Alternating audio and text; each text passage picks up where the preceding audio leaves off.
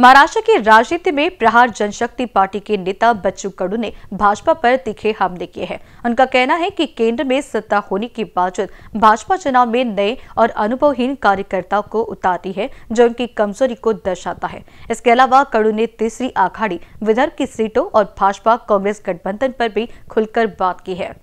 बच्चू कडू ने बताया कि तीसरी आघाड़ी की बैठक राजू शेट्टी और संभाजी राजे के साथ हो रही है। उनकी पार्टी जल्दी सौ उम्मीदवारों की सूची जारी करेगी, जिसमें कई महत्वपूर्ण सीटें शामिल होंगी।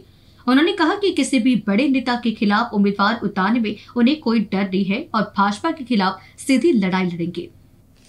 आता आज आमची बैठक आहे राजूजी शेट्टी आणि संभाजीराजे हे सगळं आणि आम्ही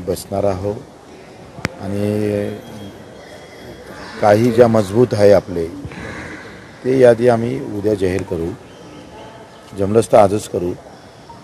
आणि नंतर बाकीचे जे आहे एकंदरीत आघाडी आणि युती यांच्यामध्ये काय बिघाडी होत आहे आम्ही त्याच्यावर लक्ष ठेवून आहे.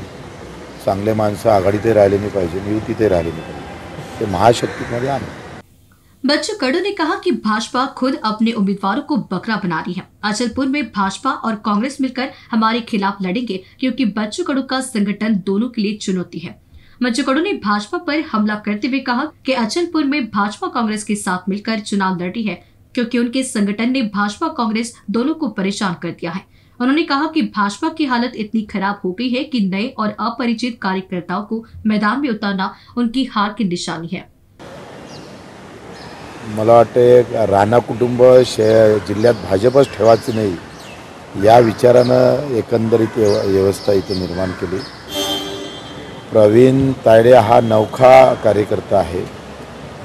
आणि अतिशय जुने कार्यकर्ते ज्यांच्यावर गुन्हे दाखल झाले प्रचंड मेहनत घेतली.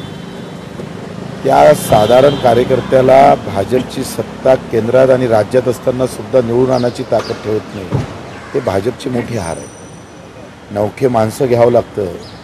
ज्यांनी अयोध्याच्या राम मंदिराच्या आंदोलनात सहभागी झाले परिवार बर्बाद झाला असे कित्येक कार्यकर्ते त्या अचलपूरमध्ये आहेत. त्यांना निवडून आणू शकत नाही भाजप एवढ्या वर्ष काम करून सुद्धा.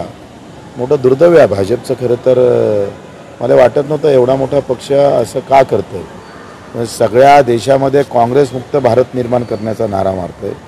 आणि अचलपूरमध्ये बा बच्चूकडूच्या द्वेषापोटी काँग्रेसयुक्त अचलपूर असा एकंदरीत भाजपचा नारा आहे. बच्चू कडू ने आगे कहा कि राम मंदिर आंदोलन में जिनके परिवार दबाव हुए उन्हें भाजपा आज भी नहीं जिता पा रही है। ये भाजपा की हार है।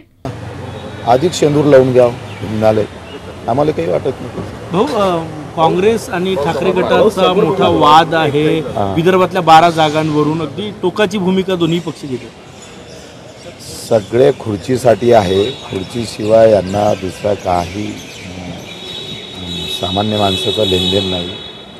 आणि कुणाचंच कोणाचा विचारधारा पटत नाही कोणताही कायम कार्यक्रम नाही. एकच कायम कार्यक्रम आहे सत्ता आली पाहिजे. त्यांना हे प्रचंड फूट होईल. एवढ्या माऱ्या माऱ्या होईल. का हे सगळे युवती आघाडीतले लोकच एकमेकाच्या खुर्च्या एकमेकाच्या टायक्यात मारणार अशी अवस्था येणार आहे. आणि प्रचंड अंदर खतखत आहे. म्हणजे आज सामान्य कार्यकर्त्याला विचारलं तर ते म्हणतात पक्षाला लाता मारा आता. अशी एक व्यवस्था आता महाराष्ट्र सध्या है तो ये थे बच्चू कडू के बयान। अब देखना होगा कि आगामी चुनाव में तीसरी आखाड़ी और भाजपा कांग्रेस गठबंधन के बीच मुकाबला कैसा होता है।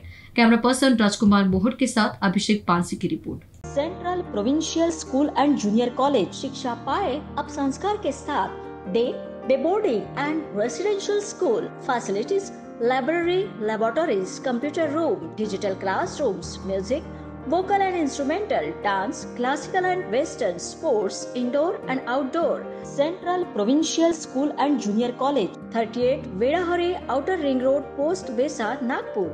Our branches at Rameshwari and Vedahari.